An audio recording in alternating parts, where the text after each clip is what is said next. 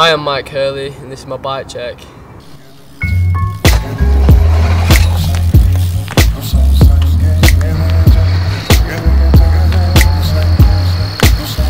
start off, I've got Odyssey 7KAs on Antigram hubs, laced with black and white spokes.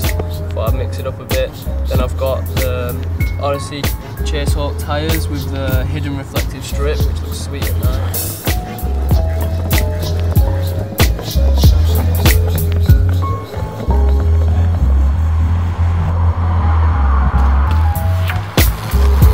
Then I've got the Tom Dugan stem. I like it because it's got no markings really, apart from small Odyssey uh, engraving. And I've got the LaGuardia sprocket on Thunderbolt was twisted with uh, twisted Odyssey pedals.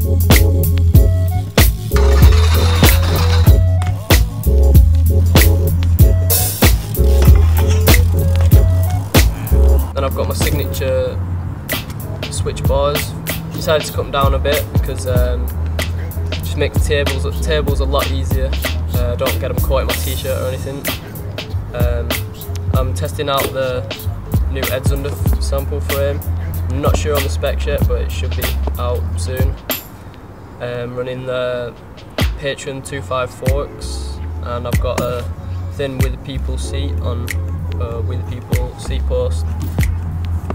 There you go. Cheers.